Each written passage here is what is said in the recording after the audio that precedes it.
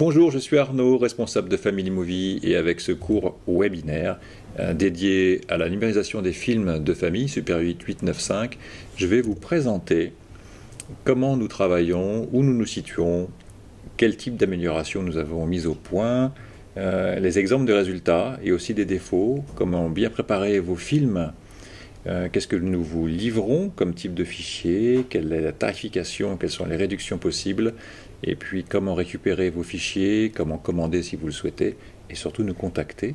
Et puis ensuite, nous verrons euh, comment aller plus loin dans la conservation de vos films. Commençons. Donc Family Movie est spécialiste de la numérisation des films euh, Super 8, 8, 9, 5. En une dizaine d'années, nous avons numérisé plus de 3 millions de mètres de films, et donc on a une petite idée euh, de ce que sont ces films, d'autant que euh, quand on numérise, on est devant les films. On numérise aussi les cassettes, et nous sommes situés à Paris, dans le 11e, près de Nation, métro Alexandre Dumas. Ne cherchez pas une, boutique, nous sommes dans un hôtel d'entreprise au troisième étage. Et gardez en tête aussi que vous pouvez venir en voiture et vous y garer et on verra plus tard à la fin, mais nous sommes ouverts surtout l'après-midi. Comment travaillons-nous? Donc déjà, d'une part, nous, nous traitons trois types de films, 8, Super 8 et 9.5. Quant au 16, il est euh, sous-traité, et très bien sous-traité, à une entreprise euh, dans le nord euh, de Paris qui s'appelle Vectracom. Les étapes de numérisation sont au nombre de trois. Tout d'abord, on assemble les films que vous nous confiez pour euh, faciliter leur nettoyage et leur scan. Et d'ailleurs, vous verrez que si vous avez assemblé vos films vous-même, déjà, vous pourrez faire 40% d'économie. Ensuite, ces films sont nettoyés avec une machine qui a été conçue pour nous. Et ensuite, ils sont scannés avec un scanner qui a été quasiment conçu pour nous au, au fil des années. Il a été amélioré. Nous avons deux post-traitements, l'un dédié à la colorimétrie et à la lumière, et l'autre à la rectification du son. Quelles options d'amélioration avons-nous mises au point? Évidemment, année après année, on s'est aperçu que les films n'étaient pas forcément parfaits. Et nous avons eu envie de développer des solutions pour améliorer ces films, notamment de la restauration numérique.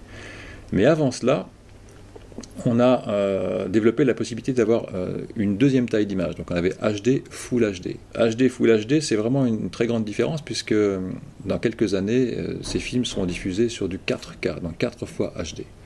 Et ce qu'il faut retenir, c'est que un, les films méritent du Full HD, et même s'ils ont l'air tout petits comme ça, hum, le scanner est suffisamment précis pour pouvoir retirer une bonne définition de ces, ces images-là. Et ensuite, l'écart qu'il y a entre HD 4K ou Full HD 4K est, assez important.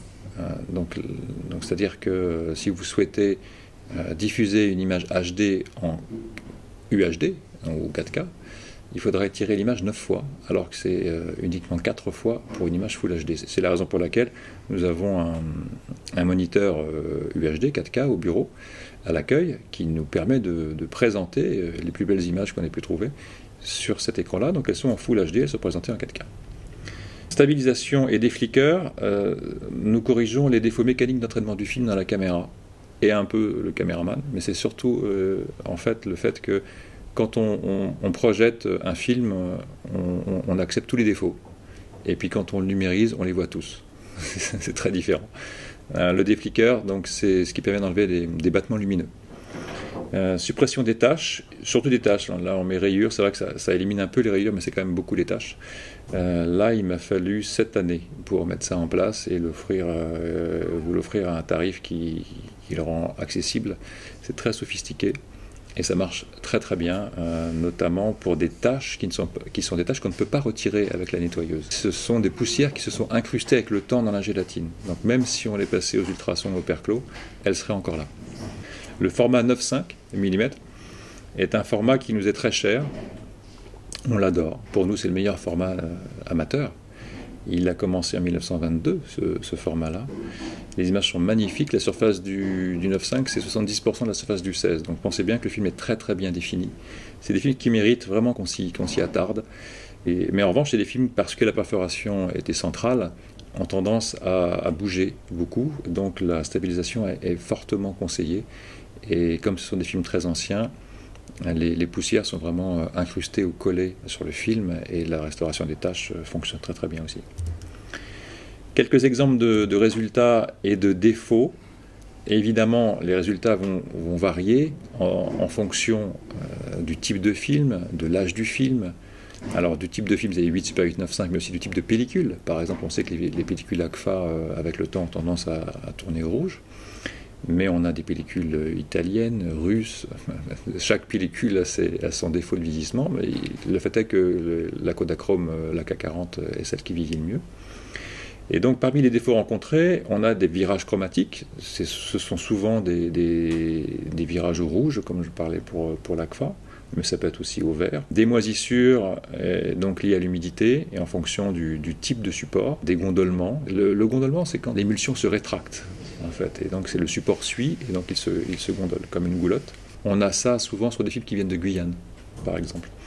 Dominante bleu ou orangé, souvent ça vient d'un problème de filtre. Vous savez que lumière du jour, lumière artificielle, il fallait mettre un filtre ou en enlever un. Des fines rayures. Alors là, dans l'exemple qu'on vous montre, il y a une rayure blanche à gauche et une rayure bleue à droite. Dans les deux cas, on ne pourra pas les enlever. C'est pas quelque chose qu'on peut corriger. Euh, la rayure blanche, c'est la même cause que la rayure bleue, c'est juste que la rayure bleue est moins profonde et donc il reste une couche de couleur. Poil caméra et copeaux. Donc à gauche, vous avez un copeau, c'est-à-dire vraiment un, bout qui doit faire 2 mm, qui a été filmé au moment où le, film a été tourné. Puis à droite, vous avez ce qu'on appelle un, poil caméra, euh, plus standard, c'est-à-dire euh, bah, le pourtour de la fenêtre de, la caméra n'était pas très très propre, mais là, le poil que vous voyez, il fait juste euh, un quart de millimètre. Hein. Donc là, c'est pareil, c'est pas des poils qu'on rajoute. Chaque année, euh, on a toujours quelqu'un qui nous explique qu'on a rajouté un poil à son film. mais en fait, non, on ne peut pas rajouter un poil. Même si on voulait, euh, ce serait très très difficile comme ça. Et ce qu'il faut retenir aussi, c'est que comme le scanner euh, scanne l'ensemble du photogramme, on obtient une image qui est plus grande que celle que vous avez l'habitude de voir. Donc c'est ce qui fait que vous redécouvrez un film et donc des défauts qui sont autour de mon point de vue, euh, les poils comme le grain, ça fait partie du cinéma. Surexposition et sous-exposition et double exposition, ça c'est très intéressant. Surex et sous-ex, bon, ben, ça, ça, dépend des conditions de tournage. Ça peut dépendre aussi des, conditions de, la caméra. Par exemple, moi j'avais une caméra, j'avais pas euh, compris que les piles de la cellule n'étaient pas les mêmes que les piles du moteur. Donc j'avais bien changé les piles du moteur, mais pas celles de la cellule. Donc j'avais des images surexposées. Double exposition, euh, ça concerne le double 8 qui, qui venait d'une pellicule 16 qui était euh, filmé euh, par moitié moitié gauche, moitié droite. On retournait la pellicule, donc 7,50 m de film, et puis le laboratoire a développé l'ensemble et mettait bout à bout les deux fois 7,50 m, ce qui faisait 15 mètres. Et, donc la double exposition, c'est quand, euh, hum, plutôt que de retourner une fois le film, la personne qui a filmé l'a retourné deux fois. donc ça veut dire que la scène a été, enfin, la pellicule a été exposée deux fois sur le même côté on peut rien faire aussi. Flou, net, grain, un film flou restera flou. Mais ce qui est intéressant, c'est que sur le scanner, on fait le, point sur le grain du film. Ce qui fait qu'on pourrait se poser la question comment faire pour faire le point sur un film flou? Rien ne dit que les premières images d'un film soient nettes, en fait. En fait, dans le scanner, c'est pas une caméra vidéo, mais un capteur. Hum, et, cette netteté peut poser quand même des problèmes. Il y a une prime défaut, une prime à la qualité. Quand le film est très beau, bah, le film est encore plus beau. Et quand le film est, moins beau, euh, par exemple qu'il a du grain, on verra encore plus le grain. Euh, à savoir que le grain sera d'autant plus présent qu'on voudra éclairer le film pour compenser un, manque d'exposition. Les instabilités peuvent être liées à la perforation qui aurait été creusée par un projecteur, par exemple, et le laser du, scanner aurait du mal à stabiliser ça. Ça, généralement, on peut, euh, on peut corriger euh, en très grande partie avec l'option de, de, restauration numérique. Euh, il y a aussi des instabilités liées au fonctionnement de la caméra au moment du tournage. C'est comme si, en fait, l'image avait été imprimée deux fois sur le, sur le positif ou le négatif, avec un, léger décalage. Et là, on ne peut rien faire. Quant au son, il peut y avoir des, problèmes de, son un petit peu sourds qu'on essaiera euh, évidemment de, résoudre. Tous ces défauts que vous ne souhaitez pas, quand on les regarde de près et de très très près en macrophotographie, deviennent euh, parfois des œuvres d'art. Ce qui nous a euh, conduit à créer une collection qu'on a appelée Artefact, donc de macrophotographie, d'environ 500 ou 700, 700 photos, que nous mettons à disposition auprès des artistes s'ils veulent travailler à partir de ces images-là, et qui nous permettent d'avoir un regard un peu différent euh, sur euh, ce qu'est la pellicule et, euh, comment elle, peut vieillir. Comment bien préparer vos films? L'enjeu ici est de, juste savoir différencier le Super 8 du 8 et du 9.5 pour savoir euh, ce que vous pouvez assembler l'un avec l'autre. Ensuite, il faut savoir mesurer vos films et pour ça, euh, généralement, sur les carters, c'est pas toujours le cas sur le 9.5, il n'y en a pas, mais sur la plupart des autres carters, vous avez des graduations en mètres, en feet et en minutes. Regardez les mètres et les mettre sur le côté euh, muet du carter, puisque tous nos relevés de prix se font sur le côté muet, même pour les films sonores. Ensuite, euh, vous pouvez apprendre assez facilement, parce que les gens font ça depuis, 70 euh, ans, ou davantage, à coller vos films pour créer des, bobines plus importantes. Et là, vous pouvez faire 40% d'économie. L'idée, c'est simple, c'est que le temps que vous nous économisez, vous l'économisez. Qu'est-ce que nous vous livrons? Ça veut dire, une fois qu'on a numérisé les films, avec quoi vous allez repartir? Dans un premier temps, il y a la taille de l'image. HD, Full HD. J'en ai parlé déjà, euh, ça permet de, de s'accorder avec le sens de l'histoire. De mon point de vue, on travaille davantage pour vos petits-enfants que pour vous-même. Donc autant leur donner des images qu'ils vont pouvoir euh, exploiter sur des grands écrans. Le codec, le codec euh, c'est ce qui compresse la vidéo. On en propose deux. Un quasi universel qui s'appelle le MP4, qui va être compatible Mac, PC, et euh, diffusé sur télévision aussi. C'est ce que nous, nous faisons ici. Puis un codec Pro, le ProRes K22HQ, qui est un codec de, production audiovisuelle. Si vous ne savez pas ce que c'est, c'est que ce n'est pas pour vous c'est que ce n'est pas la peine de dépenser davantage. Nous ne faisons pas de DVD. Nous avons arrêté les DVD, ce ne serait pas vous rendre service, ce serait descendre la qualité et en même temps, ce serait vous retrouver dans la même situation après quelques années euh, que les gens qui viennent nous voir avec des VHS. C'est pareil. Donc, euh, avec les, fichiers, on a une image plus grande, on a la possibilité euh, de faire des montages vidéo, enfin, vous avez cette possibilité-là. Vous avez aussi la possibilité euh, de copier très facilement et donc de partager. C'est beaucoup plus simple. Et vous pouvez de toute façon voir ces fichiers sur votre téléviseur. les délais sont en général de trois semaines. Et nous avons une option qu'on appelle Pro pour les laboratoires qui travaillent avec nous, les maisons de production ou les mairies, les institutions, où en payant un peu plus cher, on, réduit ce, délai. Quelle tarification et quelle réduction? Le point le plus important, c'est de comprendre que nous avons une tarification à la bobine en fonction de sa longueur. Nous, nous gérons des bobines et des mètres de film. On ne gère pas des minutes de film, on gère des mètres de film, puisqu'on scanne image par image. À partir de 19 euros pour 15 mètres, et euh, en, en HD, ça. Et donc, euh, à partir de là, bon, il faut aller voir sur notre site pour avoir tous les tarifs. Mais ce qu'il faut retenir, c'est qu'en termes de tarification, il y, a, le prix de la numérisation, le prix des options, euh, taille d'image et puis euh, les, les, options de restauration numérique. Et pour la livraison, comptez 10 euros, que ce soit pour une copie sur un disque dur ou une clé USB ou pour un téléchargement sur votre plateforme privée sachant que ces 10 euros, c'est quel que soit le nombre de fichiers que vous ayez, un ou 100 fichiers, ça restera 10 euros. Comment récupérer vos fichiers? On a commencé à en parler. Euh, déjà, euh, la date de livraison est calculée lorsque vous venez avec vos films en fonction de votre métrage. Généralement, on, respecte nos délais. Euh, une fois que c'est terminé, vous recevez un mail et un SMS et aussi un extrait dans le mail qui vous amène sur votre plateforme privée. Et ensuite, vous avez cette possibilité de payer en ligne et de télécharger immédiatement les fichiers. Retour de vos films par colis possible, ça c'est dans le cas où vous auriez euh, téléchargé vos fichiers et que vous n'auriez pas le temps de revenir nous voir pour récupérer vos, originaux. À ce moment-là, il est possible euh, directement sur votre interface privée de nous demander, pour 10 euros là encore, euh, qu'on vous renvoie ces éléments par colis. Sauvegarde de vos fichiers.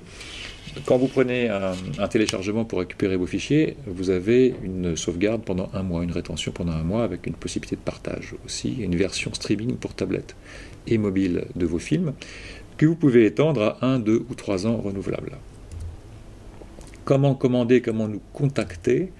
Le meilleur moyen de toute façon, ça reste de venir nous voir, comme ça c'est l'occasion de se connaître. Et sur place, à Paris 11e, du mardi au samedi de midi, donc 12h à 19h, euh, l'autre possibilité, évidemment, c'est le colis par correspondance. Nous avons une page sur le site qui est dédiée à ça, avec euh, un bon de commande qui permet de, vous aider et de vous guider. Pour nous contacter, euh, vous pouvez nous contacter par téléphone de, à peu près 10h du matin, du, mardi au samedi, de 10h à, à 19h. Alors gardez en tête que le samedi, c'est de midi. à 19h. Et puis, vous pouvez prendre un rendez-vous téléphonique sur notre site internet à partir d'un petit bouton à droite qui vous permet de fixer une date et une heure. Et je vous rappelle. Un test gratuit le mardi soir est organisé aussi pour le 8 Super 8 seulement, qui permet de voir comment on travaille. Et ça, c'est généralement les gens qui, ont beaucoup de films aiment bien savoir euh, un peu quel type de résultat ils peuvent espérer obtenir avec notre technique et notre méthode. Ce test euh, sert à ça. Et vous pouvez nous envoyer un, email, soit au mail qui est, affiché, soit en cliquant sur le bouton poser une question en haut à droite sur notre site. Quelle conservation pour vos films? Alors, évidemment, une fois que les films sont, numérisés, on peut, se poser la question de savoir ce qu'on va en faire. On entend un peu tout. On entend je vais les jeter, je vais les garder.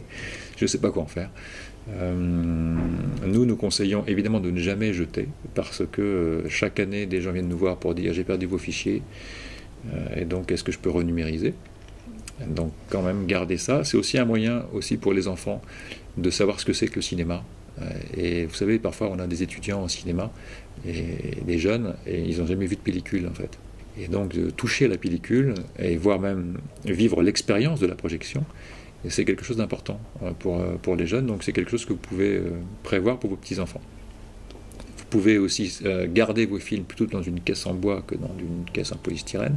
On a eu l'expérience avec, avec certains clients où dans, un, dans une même pièce, euh, stocker dans, du polystyrène, les films étaient inutilisables, et stocker dans une, caisse en bois, c'était possible. C'était parfait. Vous avez aussi l'opportunité de confier vos films à Laure Sainte-Rose, qui dirige l'atelier Ad libitum, qui est dédié à la, valorisation des films amateurs auprès des musées et des institutions. Donc là, nous, on vous met en relation, vous voyez euh, avec elle. C'est un très beau travail. Et, euh, c'est un moyen de valoriser vos films et de s'assurer qu'ils euh, euh, ils auront une, seconde vie ou une troisième vie. Si on considère que la numérisation est une seconde vie, la troisième vie pourrait être justement ce partage à la collectivité. à savoir qu'on a vraiment des, parmi les films qu'on numérise des, vraiment des trésors, des trésors documentaires qui, sont, qui sont juste merveilleux. Voilà, c'est la fin de, de, ce, de ce webinaire. Je pense avoir parcouru la majorité des questions que depuis une dizaine d'années euh, on nous pose. Et peut-être ce que je voudrais partager avec vous, pour terminer, c'est deux ou trois petites choses. La première, c'est que on sous-estime, notamment pour les films 8, Super 8 et 9, 5 et voire 16, la puissance émotionnelle que représentent ces films et aussi probablement la puissance réparatrice au sein des familles qu'ils peuvent avoir. Ensuite, le deuxième point, c'est que hum, les films n'existent que s'ils sont partagés. Et la numérisation, ça permet ça. Évidemment, on perd le plaisir de la projection, mais on sait bien que les films restent sur l'étagère et qu'il faut faire venir les gens là où sont les films. L'idée euh, qu'il y a derrière la solution de partage qu'on a mise en place, c'est de considérer que les films, il faut les regarder là où nous sommes plutôt que d'amener les gens là où ils sont. Et, c'est ça que j'ai voulu faire avec euh, la plateforme privée et le fait que quand vous prenez une rétention, vous avez aussi une version sur mobile ou sur tablette. Donc moi j'imagine très bien, et je l'ai déjà vécu, lorsqu'on a, j'ai numérisé les films d'un, de mes amis, donc euh, on est dans un, dans un restaurant avec euh, d'autres amis et on dit ben voilà tes films sont prêts. Ah bon ils sont prêts? Et, on peut cliquer sur le lien et là les films sont là tout de suite il peut les montrer et, tout de suite il y a la mémoire qui remonte et c'est merveilleux. Un, dernier conseil euh, je parle par expérience quand vous montrez ces films euh, à des gens qui les ont faits qui y étaient ou qui connaissent ce qui, qui sont les personnes qui étaient, qui étaient dans ces films dans ces images la mémoire remonte extrêmement brutalement. Vous avez tout intérêt à enregistrer, voire à filmer ces personnes, parce que vous allez récupérer un pan de mémoire qu'après vous aurez du mal à récupérer, euh, parce que c'est spontané. Et gardez en tête que des films où on ne sait pas qui sont les gens qui sont sur les films, pour vos petits-enfants, ça ne va pas servir à grand-chose. Si vous voulez aller vraiment plus loin que la sauvegarde de ces films, c'est de les enrichir avec euh, la, connaissance liée à, à ces films. Voilà, j'espère que euh, j'aurais répondu à la plupart de vos questions. Dans tous les cas, nous sommes là pour vous conseiller, vous renseigner, puis peut-être que nous pourrons travailler ensemble si vous le désirez. À très vite.